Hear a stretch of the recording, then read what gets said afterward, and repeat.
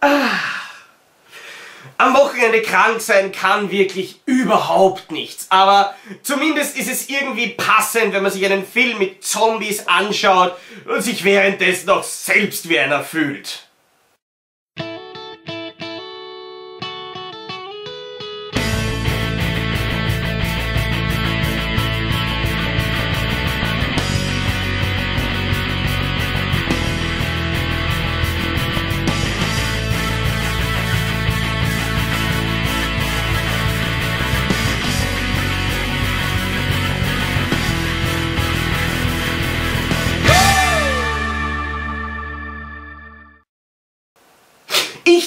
Mir schon, Abraham Lincoln Vampirjäger wäre das seltsamste und skurrilste Filmkonzept, das wir dieses Jahr zu sehen bekommen werden.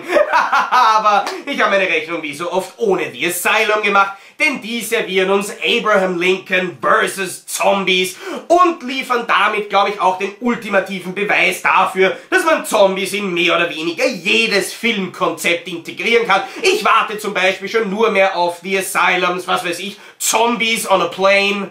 Warte mal. Blödes Beispiel. Äh, wie wär's mit Oogie Loves meets the Zombies oder Madagaskar 3, die Rückkehr der Zombie-Pinguine. Ich hab volles Vertrauen, dass The Asylum da noch so einiges einfallen wird. Aber gut, beginnen wir Abraham Lincoln vs. Zombies oder auch nicht, weil wirklich was erkennen kann man in der ersten Szene des Films nicht. Es soll irgendwie eine Art Zombie-Hut mitten im Wald darstellen. Das Ganze, pf, scheinbar hat man den Beleuchter daheim vergessen, ist so dunkel ausgefallen, dass man recht wenig erkennen kann. Das erste, was ich wirklich gut sehen konnte bei dem Film, war, dass man danach, nach dieser Szene, auf Stock-Footage äh, zurückgegriffen hat, die so verpixelt ist, dass man den Eindruck gewinnen könnte, die wäre von einer alten Video-CD äh, herunterkopiert. Aber gut, es wird einmal Zeit, unseren Hauptcharakter kennenzulernen. Abraham Lincoln ist am Anfang des Films noch, würde ich so äh, schätzen, acht Jahre alt. Wir sehen seinen Vater, hinter ihm äh, die zombifizierte Mutter. Der Vater sagt, ich kann es nicht. Und er schießt sich und dann haben wir halt... Äh, äh, äh, mal, mal ganz kurz Pause. Ähm, der Vater meint, er kann die Mutter nicht erschießen und er schießt sich deswegen selbst. Der Parents of the Year Award dieses Jahr geht an Abraham Lincolns Vater. Großartig, wenn man so sagt, ach nein, ich kann meine zombifizierte, gehirnfressende Frau nicht töten. Ah, soll mein Achtjähriger das tun? Puh, Wiedersehen! Das Ganze ist vielleicht nicht so wirklich schlüssig, aber Abraham Lincoln hat ehrlich gesagt irgendwie den Eindruck gemacht, dass ihm das Ganze nicht wirklich stört. Das Ganze wirkt irgendwie wie eine McDonalds-Sammelbestellung bei den äh, Kindern aus Kinder des Zorns, weil er nimmt einfach die Sense, köpft seine Mutter und schaut dann irgendwie so drein, als wäre ihm das Ganze recht egal gewesen, irgendwie spannend. Was aber diese ganze Aktion von seinem Vater noch interessanter und noch Parents of the Year verdächtiger macht, ist nicht nur, dass er sich erschießt und meint, ähm, ach, soll Abe doch seine Mutter töten? Nein, damit er seine to äh, Mutter töten kann, muss der Sohn auch noch natürlich über die Leiche des Vaters drüber steigen, weil... Aha, gut. Scheinbar denke ich mehr über das Drehbuch des Films nach als derjenige, der das Drehbuch geschrieben hat, aber ich denke mir, wenn wir so weitermachen, sitzen wir morgen noch da. Also, zahmer Belang. Die erste, erste Gedanke, der mir irgendwie kommt, ist, wir sehen jetzt mal Abraham Lincoln als achtjährigen Zombiejäger. Und mir kommt der Gedanke, hm, ein Kind, das Zombies jagt, könnte das möglicherweise irgendeine Verknüpfung mit The Walking Dead haben, aber pff, egal, man muss aber zugeben, äh, jung Abraham Lincoln ist nicht wahnsinnig viel cleverer als sein Vater, weil nachdem er seine Mutter geköpft hat, zerbricht er die Waffe, weil es ja sicher nirgendwo einen zweiten Zombie gibt und vor allem, wenn man irgendwo in der Nähe eines Felds wohnt, seine Sense ist sicher nicht hilfreich, ja, aber egal. Wir sehen dann ähm, eine Credit-Sequenz, währenddessen im Hintergrund so Bürgerkriegsszenen, die irgendwie ausschaut wie mitgefilmt bei irgendeiner Laienspielgruppe von den, äh, so ein Civil War Reenactment der Abendschule in Minnesota, äh, Mississippi, Minnesota. Ich habe gerade einen neuen amerikanischen Bundesstaat ent äh, entwickelt entfunden. Also heute äh, bin ich etwas am Wörter erfinden. Das passiert, wenn man nicht weiß, ob man Mississippi oder Minnesota sagen kann. Dann hat man halt Minnesota erfunden oder entfunden, entwickelt. Egal, wechseln wir das Thema, denn wir sehen jetzt den erwachsenen Abraham Lincoln, der schon amerikanischer Präsident ist, wie uns vorher die Stock-Footage-Aufnahme des Weißen Hauses zeigen soll. Ich habe übrigens nachgeschaut, Abraham Lincoln saß damals tatsächlich schon im Weißen Haus, allerdings fände ich es doch irgendwie eher passend, wenn die Asylum nicht ein modernes Bild des Weißen Hauses verwenden würde, weil ich glaube, das hat damals, wo Abraham Lincoln regiert hat, doch noch ein kleines bisschen anders ausgeschaut. Ähm, ein kleines bisschen Übergänge wären außerdem auch nicht. Weil wie ist Abraham Lincoln von einem einsamen Kind im Wald, das seine Mutter mit einer Sense geköpft hat, zum amerikanischen Präsidenten geworden. Weil irgendwie hatte ich das Gefühl, so ganz im Kleingedruckten von den, man könnte sagen, Grundlagen zum amerikanischen Präsidentsein könnte unter der Zeile, du musst in Amerika geboren worden sein, möglicherweise auch noch irgendwie so etwas stehen wie, du darfst deine Mutter nicht mit einer Sense geköpft haben, Klammer, auch wenn sie ein Zombie war. Naja, egal. Was mir am Anfang des Films gleich auffällt, wie Asylum hat irgendwie versucht, scheinbar die, das alte Englisch der damaligen Zeit nachzuahmen, zumindest solange man dran gedacht hat, weil es gibt einige Szenen, in denen die Darsteller wirklich im, im Civil War Englisch sprechen. Dann gibt's wieder einige Szenen, wo sie ganz normal sprechen, als wäre gar nichts gewesen.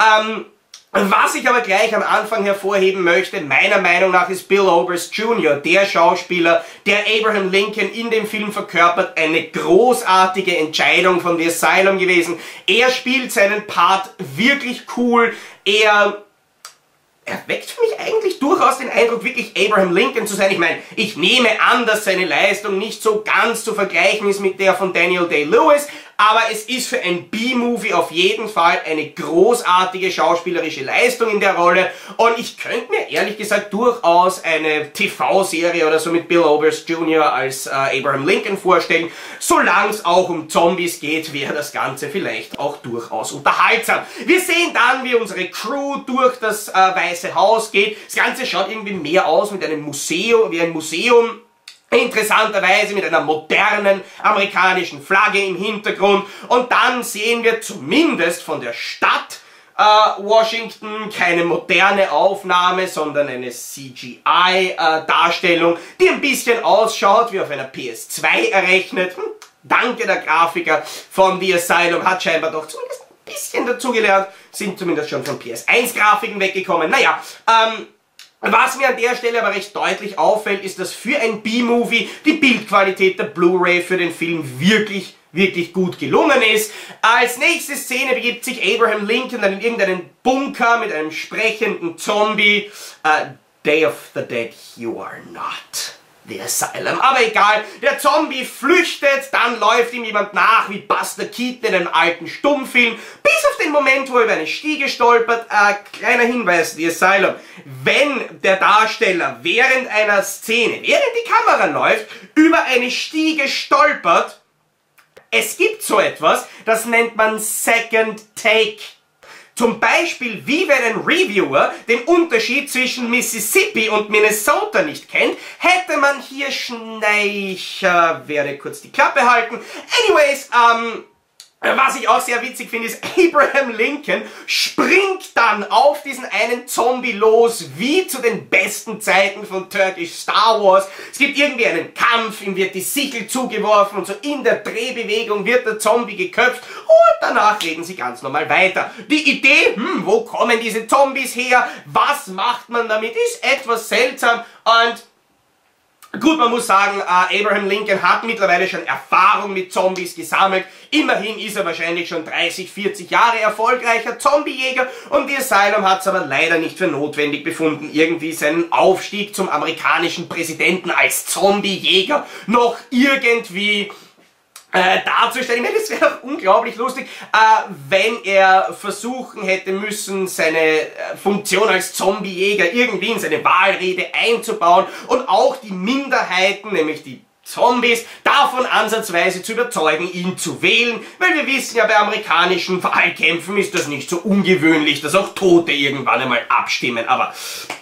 und das ist irgendwie ein anderes Kapitel. Wir sehen dann eine Szene, wo unsere Gruppe mit dem Zug fährt. Irgendwann fährt der Zug nicht mehr weiter und sie müssen zu Fuß weitergehen. Zum Glück ist ähm, der Zug äh, ein CGI-Effekt im Hintergrund. Das Ganze wurde so toll gemacht, dass man den Eindruck äh, bekommt, während unsere Darsteller nach vorne gehen, dass der Zug langsam aber sicher rückwärts fährt. Great! Ähm, wir kommen dann zu irgendeiner Festung, Burg, keine Ahnung was. Und dieses Tor dort ist ganz, ganz toll gesichert durch einen morschen Holzbalken, den die drei Männer im Schlaf aufbrechen können. Yippie. Ähm, Trotz dieser super tollen Sicherung hat man aber drinnen im Hof irgendwie Männer positioniert, die dann unsere Gruppe ins Kreuzfeuer nehmen. Und ich stelle mir vor, so eine Schießerei mit den Waffen von damals muss sicher wahnsinnig actionreich gewesen sein, wenn man nach jedem Schuss ungefähr 10 Minuten zum Nachladen braucht. Abgesehen davon weiß ich jetzt nicht, wie die Leute, die in dieser Festung vorher waren, unbedingt gleich festgestellt haben, dass unsere Gruppe da ist und sich im Vorhinein in Sicherheit gebracht haben, weil es ist ja so wahrscheinlich, dass es sich um äh, irgendwelche Eindringlinge und Bösewichte handelt, vor allem wenn die Unterscheidung zwischen Menschen und Zombies so schwer fällt wie sprechen sie, riechen sie wie Leichen, nein, dann brauchen wir nicht schießen, aber irgendwie ist das scheinbar auch zu intelligent für die Leute damals, während ähm, dieser Schießerei kommt dann irgendwie ein Zombie daher, einer von Lincolns Leuten wird gebissen, Lincoln erschießt den Zombie und dann den Gebissenen.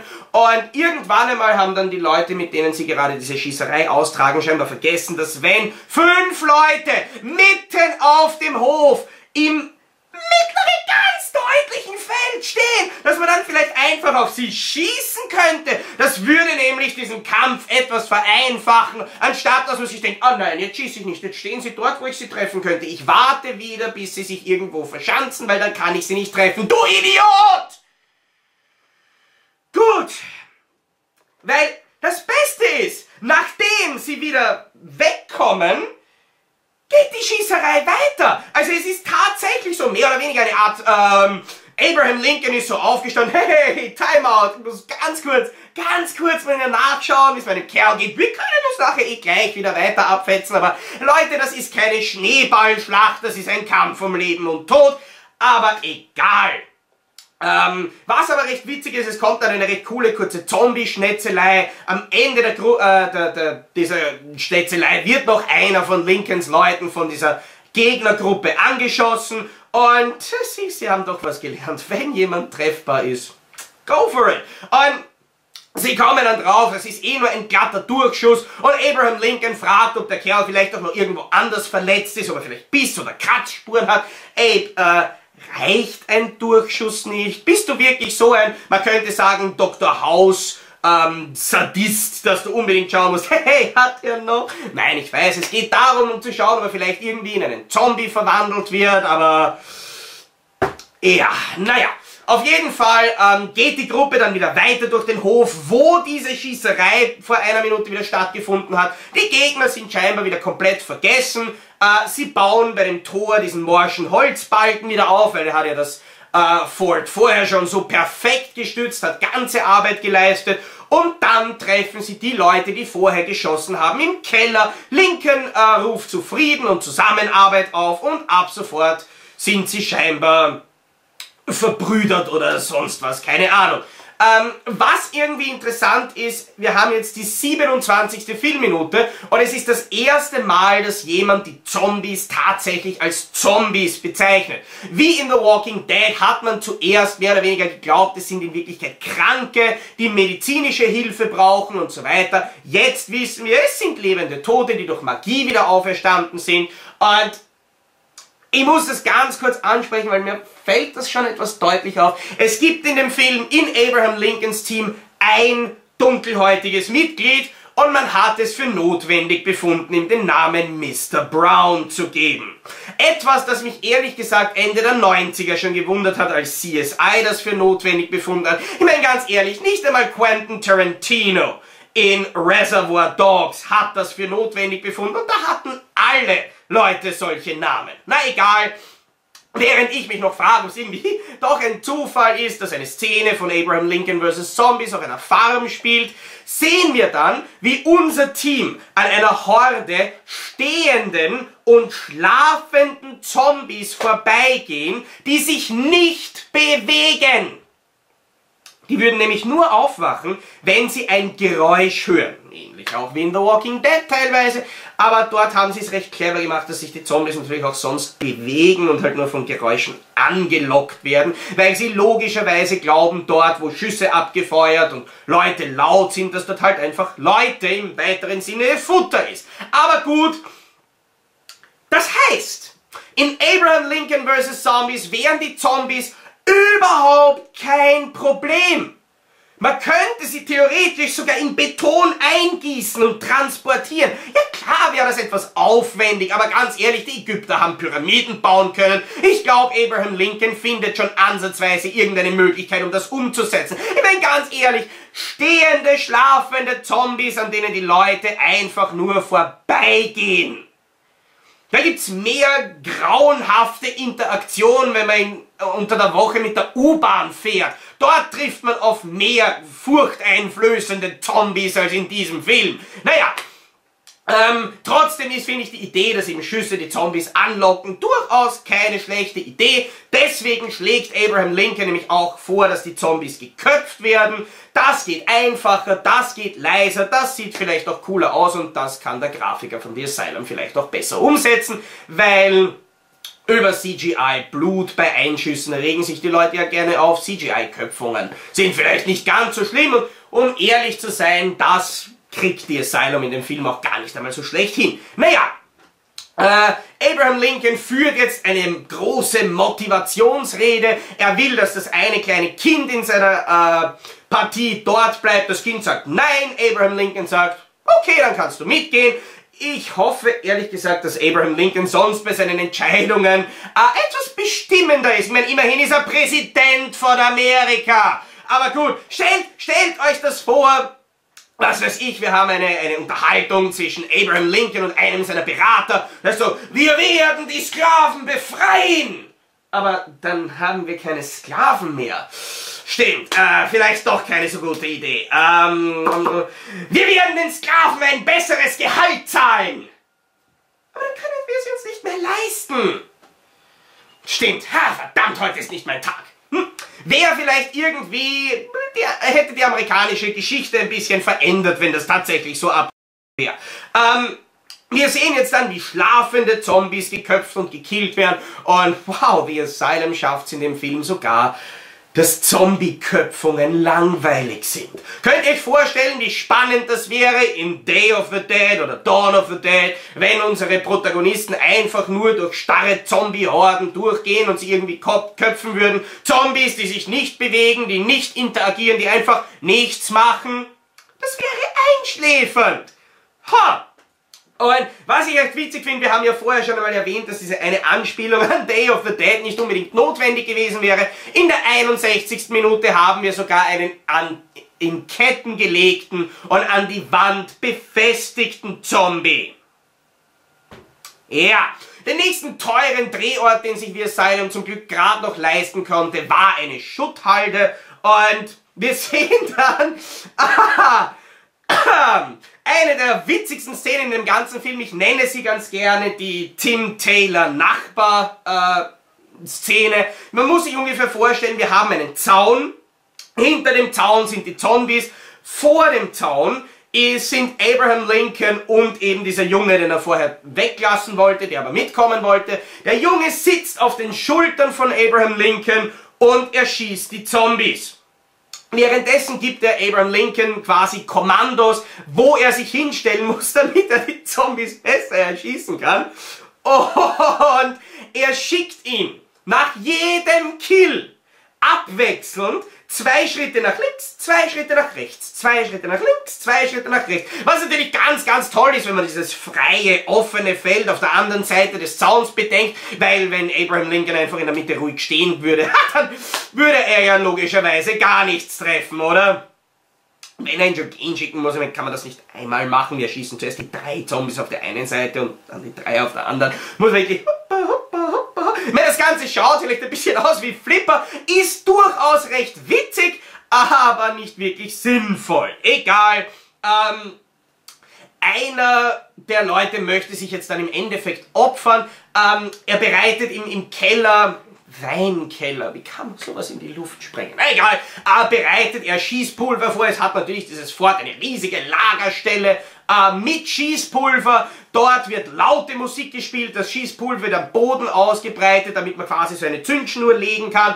Und die wird angezündet, im Hof wird währenddessen gekämpft und so weiter. Die Zombies sollen nach und nach eben in diesen kleinen Raum hineingehen und dann wird dieser Raum e- äh, zur Explosion gebracht und das Zombie-Problem wird mehr oder weniger beseitigt. Also halt diese ungefähr 20 Zombies, die dort sind, von den wahrscheinlich 5 Millionen, die sonst noch vorher rumrennen.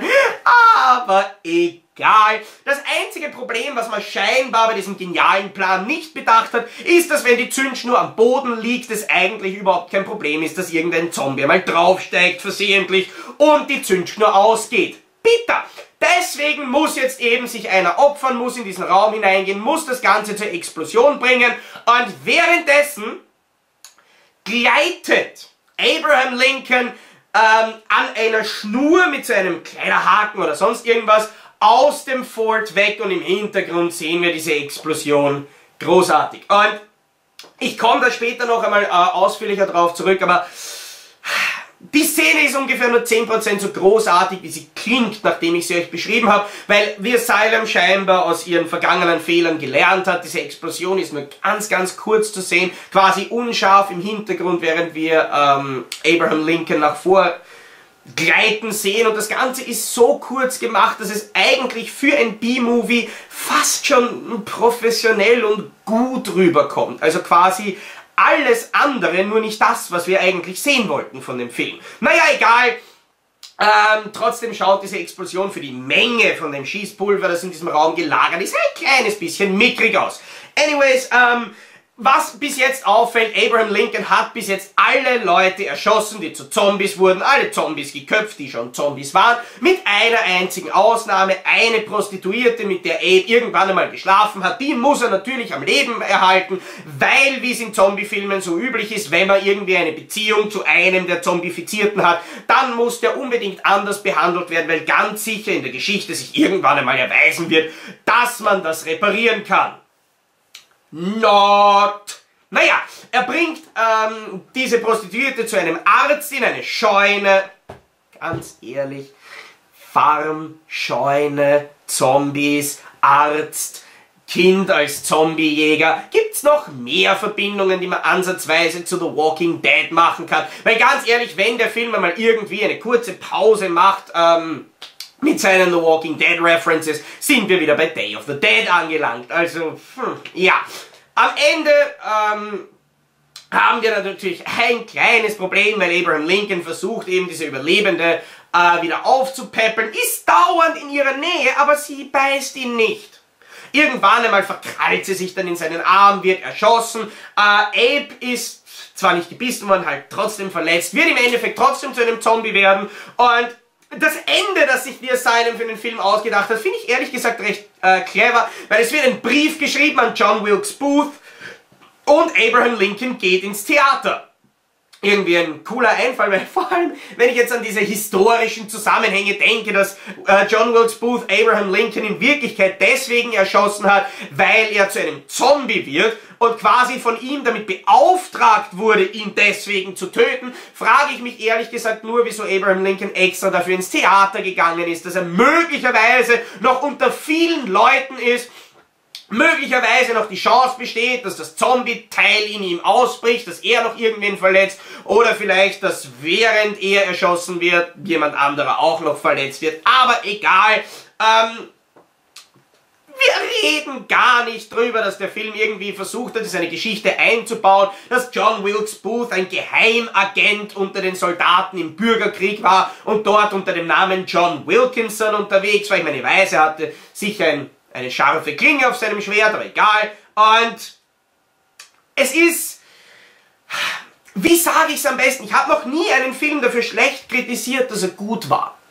Aber The Asylums Abraham Lincoln vs. Zombies hat ein Problem. Er ist man könnte sagen, ein Vertreter der neuen Schule von The Asylum. Asylum hat dazugelernt, hat sich wirklich deutlich verbessert im Vergleich zu ihren früheren Werken. Beispielsweise ist die Optik des Films wesentlich professioneller, das Ganze schaut viel besser aus und man hat wirklich den Eindruck, dass The Asylum den Film mit viel mehr Budget produziert hat, als sie es eigentlich hatten. Die schlechten CGI-Effekte rücken irgendwie in den Hintergrund, werden immer geschickt durch, durch schnitttechnische und sonst was Tricks so überspielt, dass sie nicht ganz so deutlich herausstechen wie in älteren Filmen und auch die Kamera, sonst was Tricks sind besser, die Schauspieler sind besser und ich habe nur ein großes Problem im Endeffekt damit. Die Asylum-Filme waren für mich und wahrscheinlich für viele von euch auch immer gerade deswegen so cool und so interessant, eben